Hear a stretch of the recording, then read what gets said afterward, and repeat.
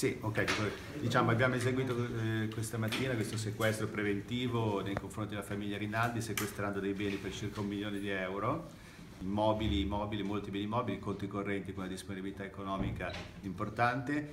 in un'operazione diciamo, che è stata svolta in contemporanea, un'indagine collegata tra la Guardia di Finanza e la squadra mobile. E quindi volevo proprio segnalare questa forma di sinergia che si è creata tra le due forze dell'ordine per cui mentre la squadra mobile ha compiuto gli accertamenti sotto il profilo fattuale, le intercettazioni eccetera, la Guardia di Finanza di parallelo ha svolto gli accertamenti patrimoniali che hanno consentito di chiedere al giudice questo sequestro che è stato eseguito stamattina e che credo che in una realtà come Imperia insomma, sia un fatto significativo che delle persone gravate da eh, precedenti penali importanti insomma, cominciano ad essere attenzionate anche sotto il profilo dei sequestri e delle misure patrimoniali. Grazie.